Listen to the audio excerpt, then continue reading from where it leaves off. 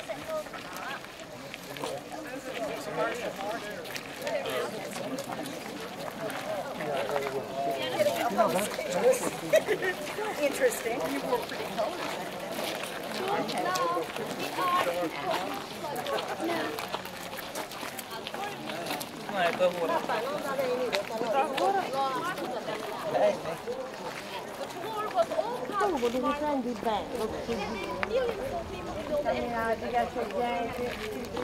every entered through the symbol. Christian the floor. And we understood that this initially there is you know the Christian you know calculation.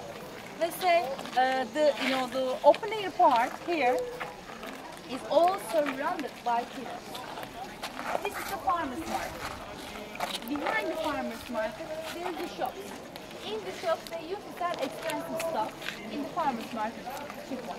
What are the expensive stuff? Silk, Jewelry, silk, oil, textile, oil, olive oil, salt. So, you know, these are cheap ones. What about so expensive ones? What about the cheap ones? Tomato, cucumber, eggplant.